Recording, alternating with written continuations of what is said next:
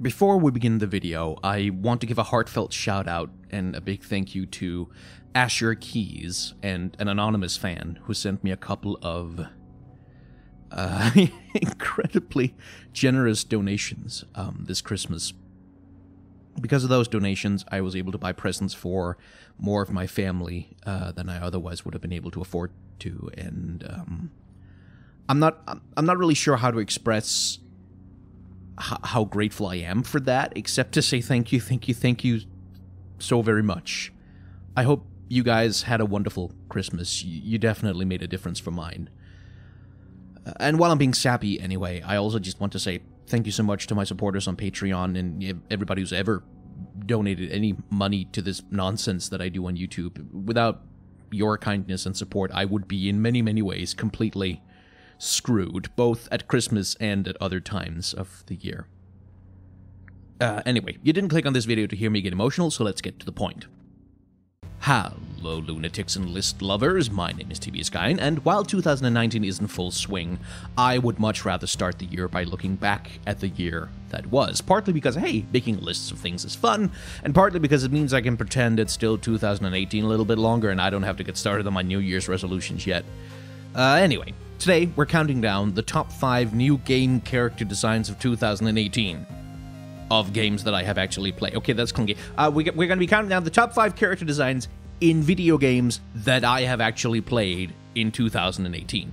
And we're going with that restriction both because it's a lot easier to evaluate a character design when you have been hands on with it, and also because approximately 14 billion new games are released onto Steam Direct every second of the day, and it's impossible to keep up with everything. If there's a character design this year that you loved and it isn't on this list, um, please tell me about it down in the comments. I'd be very curious to know.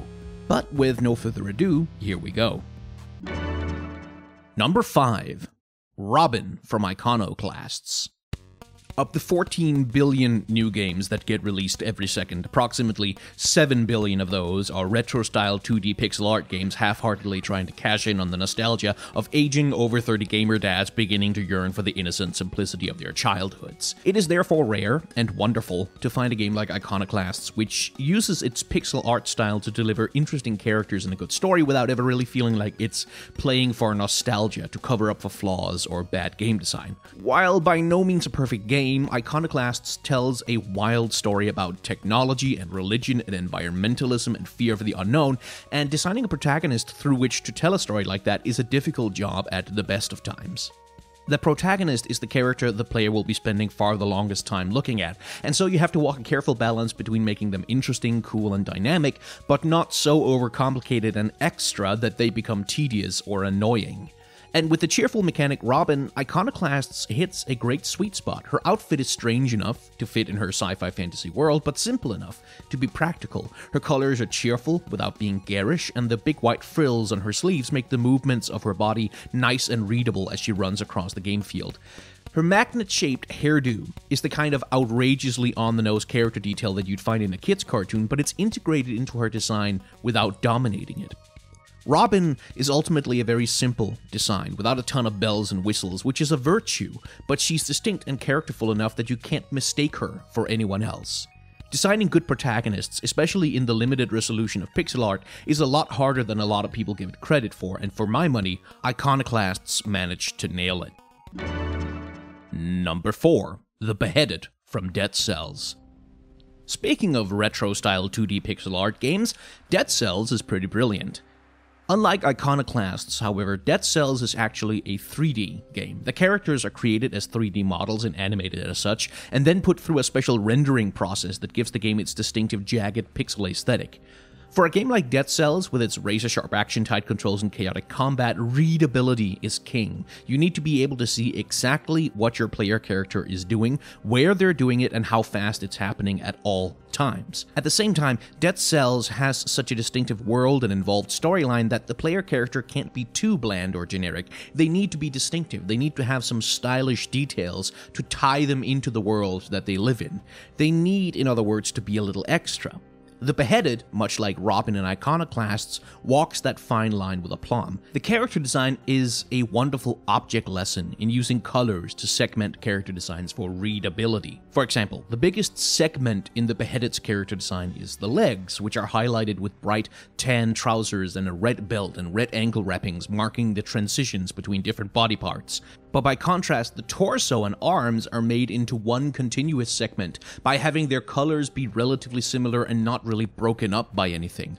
Because unlike Robin, who needs to communicate a lot with her arms, the Beheaded communicates a lot more of his action with the visuals of the weapons that he uses than he does with the specific positioning of his arms. His legs, on the other hand, need to be highlighted because they are the thing that communicates the character's position, both in terms of where they are on the ground, but also whether they are are in the air, whether they are moving, how exactly they're positioned relative to their opponents. The bright red scarf provides a bright, contrasting background for the beheaded's dark, smoky head, which could otherwise get lost in the generally dark environments and backgrounds. And plus, as an added bonus, the bright red color evokes the bleeding of a freshly severed head and neck and provides a great contrast with the character's pale blue skin. All of this combines to make the beheaded an utterly competent character design, which is something that is frankly undervalued uh, in modern gaming. It serves the needs of its game brilliantly, but it's also expressive enough to communicate a wry, jittery personality underneath beyond just what the player puts into it. And it's just a joy to look at anytime you're playing Dead Cells. Number 3 Solus from Owlboy. Uh, okay, so when I said that games are cashing in on the nostalgia of aging 30 somethings yearning for their childhoods, in my defense, I didn't say I wasn't part of that group, because I am. Oh boy, am I. Owlboy may be a 2D pixel game, but it doesn't spend any time pretending to be 8 bit or 16 bit. In creating the visuals of Owlboy, D-Pad Studios were trying very hard to push the pixel art aesthetic forward by taking full advantage of higher resolutions and infinite memory capacity to create art that is at times truly stunning. Now, it's unfortunately difficult to talk about Solus specifically in too much detail without giving away major spoilers, but suffice it to say, the reason I put his character design number 3 is that it manages the difficult job of communicating his put upon worried nerd persona while being versatile enough to also hint at the hidden depths to the character and his underlying nature. In a game that is full of extravagant and colorful and over the top character designs, Solus, with his subtle checkerboard wings and his worried intensity, does a great job of providing both cover and foreshadowing for how his character arc ultimately plays out. And to say anything more than that would be risking spoilers, so we're just going to leave it at that. Number 2 Nunu and Willump from League of Legends. League of Legends exists in a perpetual state of reinvention, or at least it tries to. And while the game changes gradually over time, at this point it has gone through so many expansions and changes that you could build probably several entire new games out of all the things that have been added on and altered on the base game. Nunu is a character who has been with the game since the beginning, but who has spent the majority of his lifetime being either a problem, a footnote, or a punchline. From his hilariously outdated and ugly looking character model to the complete incoherence between his character design and his ever changing lore, it's safe to say that Nunu has never exactly been an artistic showcase for the biggest MOBA in the world. At least, not until this year. Now, fully reworking a character like Nunu from the ground up represents a unique challenge to a character designer because you have to reinvent a terrible design into something that's more workable, but you also have to preserve the ephemeral, undefinable feeling of the character without making the players feel like you're taking a part of the game's history away from them.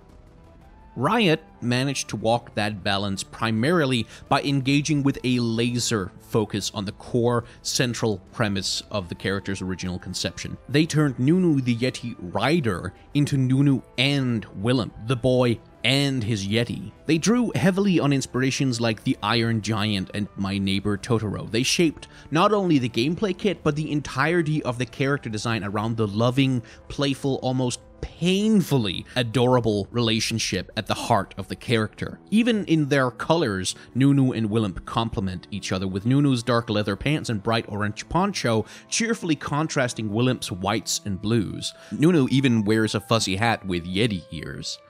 Willump, for his part, is designed with large, broad, rounded, friendly features, looking like nothing so much as a cross between a dog, a bear, and a lion, while his reindeer antlers and glowing magic tattoos give him the feeling of a child's drawing of their big imaginary friend come to life. Nunu and Willump are a master class in focus. As a character design, they have one big overarching theme, and everything, everything about the design exists to reinforce and enrich it. Number 1 Otto Octavius from Spider Man. I had reserved the longest segment for this one. Otto Octavius was an easy pick for me for best design, and I have a lot to say about him. First, Dr. Octopus is actually a very difficult villain to make interesting. His central gimmick is that he's both a mad scientist and a mad scientist's rampaging monster, but until the 2004 Sam Raimi film, nobody had ever quite figured out how to make those two components work together in a way that made the character compelling as anything other than a freak show. Alfred Molina's Otto Octavius managed to be smart, worldly, charming, and confident, everything Peter Parker is not, in other words, and the tragedy of the inhuman machine arms corrupting his mind was all the more powerful because we were shown how great of a personality got lost in the corruption. So, when I first saw Otto Octavius presented as Peter's idealistic mentor in Insomniac's Spider Man, I thought I was about to see exactly the same story play out all over again. I could hardly have been more wrong. Now, in order to talk about this character, I have to engage in a little bit of spoilers for the game. So if you're really gung ho about avoiding those, you can skip to the time code on screen now. We good? We good. Okay, so Otto Octavius, before he becomes Doc Ock, is a middle aged, chubby, balding man with a rather demure body language. He dresses in a sweater and generic slacks, presenting the very image of non threatening amiability. This guy is someone's boring dad who builds train sets in the garage on the weekends and secretly dreams of buying a muscle car. Physically, he's a man who's past his prime, and the balding alongside the stress lines on his face highlight his mortality. He seems fragile to an extent, and as Norman Osborn and bad luck conspire to make its projects and work harder and harder, you feel sympathetic towards the man, even protective of him. And so the design, alongside the frankly brilliant animation and voice acting, puts you completely inside Peter's perception of the character. Even though we rationally know he's going to be Dr. Octopus at some point, it's very hard to feel any ill will towards the man. He just seems like such a good guy. But as Octavius becomes ever more desperate to secure funding for his work and ever more angry and vengeful towards Osborn, we begin to see his flaws and his issues shine through beneath the surface. Through flashbacks with Mr. Negative, we learn that Octavius was just as responsible for the horrible experiments that created one of the game's primary supervillains as Osborn was, and we see him taking on weapons contracts from Advanced Idea Mechanics, who, if you know your Marvel lore, are a corporation of science themed supervillains and extreme bad guys. Octavius is ambitious, vindictive, and willing to compromise his morality before he installs a dangerous chip into his brain to let him control his mechanical arms. The chip doesn't really corrupt him, it just pushes him over an edge he's been longing to jump from for the entire game. Octavius provides a brilliant villain for Peter Parker because he isn't turned into a monster by a freak accident or an evil plot. What turns him into a monster is a profound lack of responsibility with his talents. With great power comes great responsibility. So, returning to actual character design, where Otto Octavius is chubby, fragile, and non threatening, Dr. Octopus is streamlined, powerful, and utterly confident. But the most important part is that physically, he really hasn't changed at all. The easy way to turn a seemingly good character into an evil monster is to physically deform them, to give them terrible scars or wounds as a ham fisted metaphor for showing the evil within physically on their body. But Insomniac doesn't go for that easy route. Doc Ock is still chubby, he's still balding, he's still wrinkled. What's changed is how he carries himself. Literally, in fact, he's carrying himself with his bionic arms, and in lifting him up the way they do, they make him look almost as though he's floating or flying, a universal symbol of godlike delusions of grandeur. Dr. Octopus is Otto Octavius, but he's Otto Octavius with everything except the moral compass turned up to 11. 11. He's not just ambitious, but he's delusional. He's not just spiteful, but he's murderous. He's not just intelligent, but he's obsessed with being a genius. He's not just willing to compromise his morals, he's willing to annihilate them. What's amazing about this character design is how smoothly it's able to transform from Dr. Jekyll to Mr. Hyde, and how perfectly it's able to embody both contradictory sides of the character without resorting to any cartoonish distortions or convenient physical changes. Just one character switching from man to monster with a change of costume and attitude. It can be kind of hard to explain how impressive it is to pull this off when it looks so effortless, but Insomniac's Otto Octavius is absolutely my favorite video game character design of the year. And that wraps up the list. Once again, I only considered characters from games I have actually played, so if you have a better favorite character design of the year and you have some good reasons why, please let me know down in the comments. I'm really eager to hear what kinds of character designs have been engaging to the rest of you throughout 2018. Hey, thank you very much for watching the video. You can subscribe to the channel if you want more videos like this one. You can hit the bell icon if you really for definitely real want more videos like this one. You can hit the like button if you want to help me out in my eternal struggle against the merciless elder god we call the YouTube algorithm. If you want to, and if you're able to, you can also support the channel on Patreon, and that will help me pay for stuff like food and rent and clothes sometimes. If you don't want to sign up for a subscription, you can click the Ko-Fi link down in the description, and that will let you do a one-time donation instead if you're more comfortable with that that. If you can't do any of those things, of course, don't worry about it. I'm just happy you've watched this video this far at all. Of course, if you have not enjoyed this video, there's a dislike button right down below, which has been engineered and enhanced with cutting-edge super science to deliver your displeasure straight to YouTube headquarters. Now, the engineers have assured me that the Cybertronic enhancements are perfectly safe and won't interfere with the normal function of the dislike button, although the manual does say that if the button is overloaded with inputs, there's a small, very small, just nearly zero, don't worry about it, there's a tiny chance that the entire system will short circuit and convert every computer on the continent into a sentient killing machine that thirsts for human blood and organs. But you know, everything in life, everything in life, as you, the YouTube engineers assured me, everything in life has risks. And you know, like every time you get in a car, there's a risk you might get into an accident. And every time you click the dislike button, there's a risk that you might initiate the robot apocalypse and end all human life on the planet. That's just, you know, that's just what life is like. Thank you very much for watching.